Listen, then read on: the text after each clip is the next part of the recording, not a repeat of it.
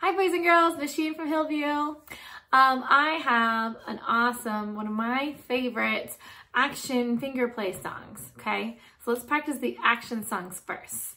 So what you're gonna do, this one's a little tricky to start. So you're going to put your hands out like this, and then you're gonna flip them over, and you're gonna interlace your fingers. So you can wiggle your fingers like this. So this is how the song starts. So let's review that again. Hands out, back to back, so your thumbs are down, and then interlace your fingers and wiggle. There you go. So it starts like this. Then you curl them up so you have flat fingers, flat top there, right? And then you're gonna put your pointer fingers up, and then you're gonna put your pinky fingers up, and then you're gonna rock back and forth. So let's review those motions again.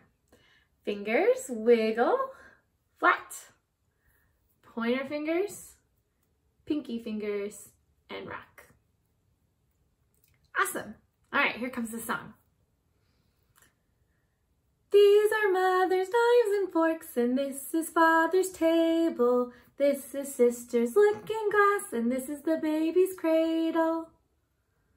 Let's try one more time. These are mother's knives and forks, and this is father's table. This is sister's looking glass, and this is the baby's cradle. Do you know what a looking glass is? Hmm, looking glass.